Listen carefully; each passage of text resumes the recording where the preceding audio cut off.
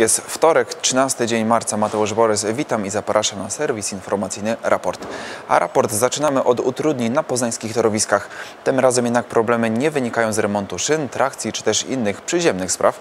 Tym razem chodzi o odnowienie kładek dla pieszych nad poznańską pestką. Prace związane z remontem przejść dla pieszych nad torami poznańskiego szybkiego tramwaju będą trwały łącznie 10 dni. Pierwszy etap pracy rozpocznie się już w najbliższą niedzielę, w nocy z 18 na 19 marca, kiedy robotnicy rozpoczną renowację kładek, wstrzymany zostanie ruch tramwaju N21. W zamian za ten środek komunikacji podstawiony będzie autobus linii T21. To właśnie tym autobusem będzie można przemieszczać się pomiędzy centrum a dworcem zlokalizowanym na osiedlu Jana III Sobieskiego. Taka sytuacja potrwa do nocy z 22 na 23 marca. Kolejny etap prac potrwa od 1 do 5 kwietnia, także wtedy uruchomiony zostanie autobus za tramwaj.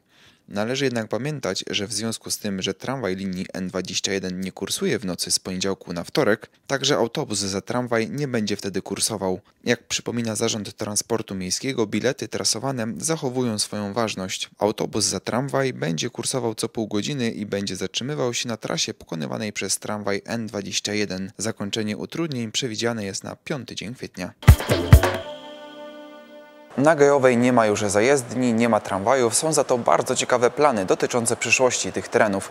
Biurowce, bloki mieszkalne, a nawet hala targowa, podobna do tych w Barcelonie czy w Madrycie, już wkrótce pojawić się mają na poznańskich Jeżycach. Zabytkowe tereny zajezdni przy ulicy Gajowej zostały sprzedane w 2008 roku prywatnemu inwestorowi. Dwa lata później, w grudniu 2010 roku, wyjechał stąd ostatni tramwaj. Od tego czasu w tej części Jeżyc praktycznie nic się nie zmieniło, aż do tej pory. Inwestor, portugalska firma firma Ref Eastern przedstawił zarys planów, w jakich chce zagospodarować te tereny. Kiedy cztery lata temu komisja przetargowa wybrała właśnie ofertę Portugalczyków, mówiła ona o postawieniu kilku budynków mieszkalnych, stworzeniu małego stawu i adaptacji zabytkowego budynku zajezdni na Muzeum Techniki. Teraz, jak się okazuje, firma nieco zmodyfikowała swój projekt zabudowy. Wciąż mają tu powstać budynki mieszkalne, ale także budynki przeznaczone na biura. Zamiast Muzeum Techniki powstanie tu hala targowa nawiązująca stylem do hal targowych w Hiszpanii czy Portugalii, w których można kupić świeże owoce i warzywa. Część z istniejących budynków będzie musiała być wyburzona ze względu na ich fatalny stan. Jednak te, co powstaną, będą formą i architekturą nawiązywały do pobliskich zabytkowych kamienic i budynków. Prace na terenie zajezdni mają rozpocząć się w przyszłym roku. Do tego czasu opracowane mają być w porozumieniu z miastem zmiany w rozkładzie ruchu ulicznego w tej okolicy.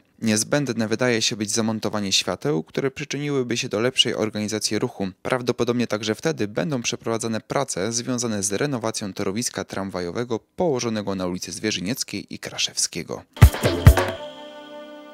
Miliony widziały, tysiące kliknęły. Mowa o kolejnej udanej promocji naszego miasta. Tym razem Poznań reklamował się na serwisie YouTube, mocno zachęcając do odwiedzin stolicy Wielkopolski. Przybądź i ciesz się, tak brzmiało hasło, które miało przyciągnąć rzesze turystów. My na razie cieszyć się możemy z nagrody, jaką ten film właśnie otrzymał. 30-sekundowy spot użytkownicy YouTube'a mieli szansę zobaczyć tuż przed filmem, którego poszukiwali. Filmik był wyświetlany 5 milionów razy, aż milion 200 tysięcy osób obejrzało film do samego końca. W zależności od państwa, w którym film był wyświetlany, film kończył się gratulacjami dla drużyny, która będzie uczestniczyć w rozgrywkach Euro 2012. I tak na przykład gratulowaliśmy Anglii, Niemcom czy Włochom i wszystkich już bez wyjątku zapraszaliśmy do Poznania. Według danych Google w ciągu trzech tygodni film zachęcił prawie 100 tysięcy osób do odwiedzenia strony internetowej naszego miasta. Film, który według liczników YouTube'a osiągnął już 14 milionów odsłon, został teraz doceniony na festiwalu Golden City Gate w Berlinie. Zdobył tam trzecią nagrodę w kategorii spoty telewizyjne. Jak dotąd żadnemu polskiemu miastu nie udało się zdobyć tej nagrody. Tymczasem my odbieramy już ją po raz drugi. W zeszłym roku film Kalejdoskop w reżyserii Ksawerego Żuławskiego uzyskał drugie miejsce wśród wszystkich zgłoszonych kandydatur. Na placu kolegiackim rynek, a za bramką parking. To jedna z możliwych koncepcji na zagospodarowanie terenów wokół poznańskiego magistratu. O tym projekcie i o poszukiwaniu inwestorów skłonnych do realizacji tego przedsięwzięcia dyskutowali dziś radni z Komisji Rewitalizacji Rady Miasta. To już kolejne podejście w temacie zagospodarowania terenów położonych w bezpośrednim sąsiedztwie poznańskiego magistratu. Radni z Komisji Rewitalizacji chcą po raz kolejny wypracować plan i charakter zabudowy ulicy za bramką oraz placu kolegiackiego. Według jednego z koncepcji konceptów plac kolegiacki już wkrótce ma przestać pełnić funkcję parkingu. Samochody będzie można parkować na nowym miejscu postojowym zorganizowanym przy ulicy za bramką. Miałby tam powstać parking na 400 aut. Tymczasem plac kolegiacki miałby docelowo pełnić funkcję rynku z zielenią oraz z ławkami. Takiemu rozwiązaniu sprzeciwiają się jednak niektórzy kierowcy, którzy uważają, że nawet powstanie parkingu za bramką i tak nie poprawi sytuacji zatłoczonego centrum naszego miasta, w którym parkowanie nie należy do łatwych zadań praktycznie o każdej porze dnia. Wciąż powraca tu także pomysł zbudowania parkingu podziemnego. Teraz jednak radni wydają się być mocno zdeterminowani na ostateczne rozwiązanie kwestii tych terenów i znalezieniu inwestora. Poznań za 50% na 100% w ostatni weekend kwietnia. Bardzo popularna akcja, która przyciąga z roku na rok rzesze turystów. W tym roku odbędzie się już po raz piąty.